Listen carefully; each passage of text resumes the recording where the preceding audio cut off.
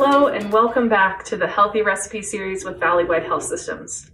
We've designed this video series to help inspire you to cook healthy, delicious meals that will satisfy your whole family. We're excited to be bringing this recipe to you today. We know that sometimes it's hard to get kids to eat their vegetables right. Well, we hope that this recipe for veggie nuggets will change that a little bit. These nuggets look just like chicken nuggets, so they're fun to eat and easy for tiny hands to grab and dip, but they're completely vegetarian. This recipe includes both broccoli and carrots, so it provides quite a bit of fiber, minerals, vitamins, antioxidants, and even some plant-based protein. One of the things that makes cooking easier is when we prepare all of our ingredients before we start cooking. That way, one part of your meal isn't getting overcooked while you prepare something else. So we've also put together two eggs, one clove of garlic, and I use the pre-chopped store kind, we also have one and a quarter cup of breadcrumbs, which I have divided into two separate bowls. We also have three quarters of a cup of mild shredded cheddar cheese and half a teaspoon of onion powder and another half a teaspoon of black pepper. Now this recipe calls for us to shred carrots and chop broccoli into pieces, but we save some time by buying pre-shredded carrots and pre-chopped broccoli. Buying pre-prepared vegetables will save you quite a bit of time. However, it can sometimes increase the cost, so make the choice that's right for you. Now this next step I did off camera, but basically what I did is I steamed the broccoli in the microwave for about two and a half minutes. And I did this just by putting a little bit of water in the bottom and then covering it with a paper towel and then putting it in the microwave. And now that I have strained the water out of the broccoli, I'm just gonna pour it onto this paper plate with some paper towels to let it drain because if this recipe is too has too much moisture in it, the nuggets won't fry crisply. So while the broccoli is draining, I'm gonna be combining the rest of the ingredients into a food processor. Now, if you don't have a food processor at home, you can use a blender or a bullet blender such as this one, or you could even use a hand cranked non-electric food processor if you have one.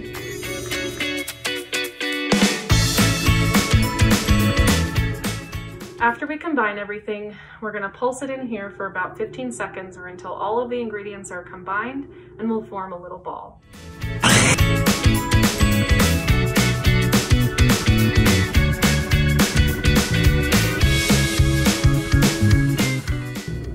All right, now that we have this nice smooth mixture, we're gonna go ahead and form these into little balls.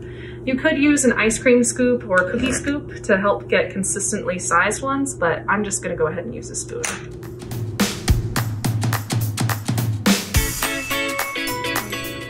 Now we're gonna press these into half inch patties, coat them in the breadcrumbs, and lay them over here to be ready to cook.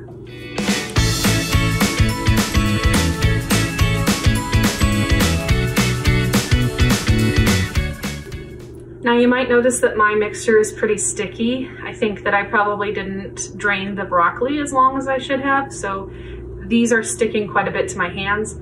And because of that, what I've decided I'm gonna go ahead and do is just plop the scoops of the mixture down into the breadcrumbs and then flatten them in this dish instead of trying to make them into nuggets first and then putting them in here.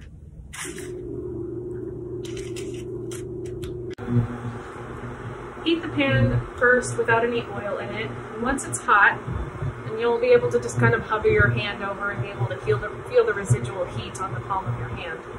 We're gonna go ahead and add our oil, heat it till it's shimmering, or until it sizzles when sprinkled with water droplets.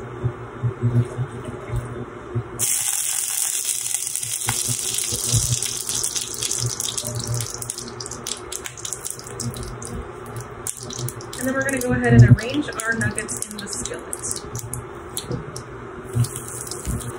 So you may have to arrange your nuggets in the skillet in batches in case they don't fit. You want each one to have enough room to get brown without being too crowded.